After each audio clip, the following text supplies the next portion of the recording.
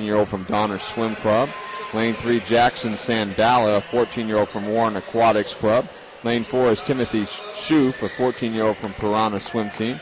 Lane 5, Gary Kostbade, a 14 year old from Noonland Swim Club. Lane 6, Jake Heidecker, 14 year old from Newburgh Sea Creatures. Lane 7, Andrew Schuler, a 13 year old from Zionsville Sim- Swim Club.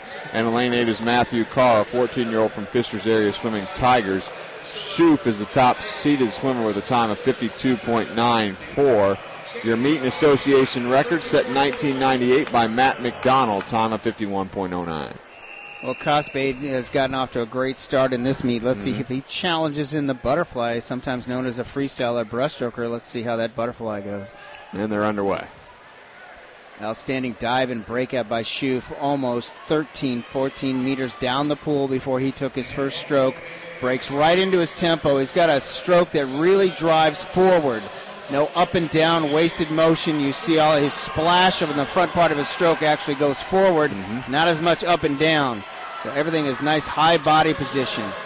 So a good start in lane four by Schoof, about a half body length lead over Kostbade in lane five. And he's about two tenths of a second faster on each wall, less than a second from when his hands touch the wall to when his feet leave the wall.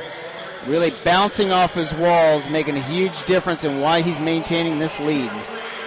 Timothy Schoof coming to the conclusion here. The 100 yard butterfly event looks like he's going to take the win out in lane four. What will be his time? It'll be 51.81 for Schoof. We didn't give him a lot of credit for being that close to the record.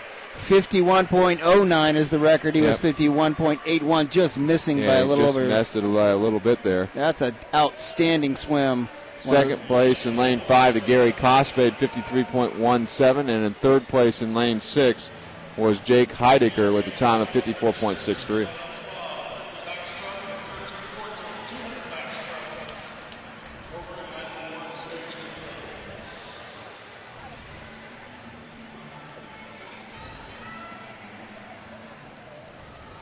And we're going to move into some more awards here, Tony. Yep.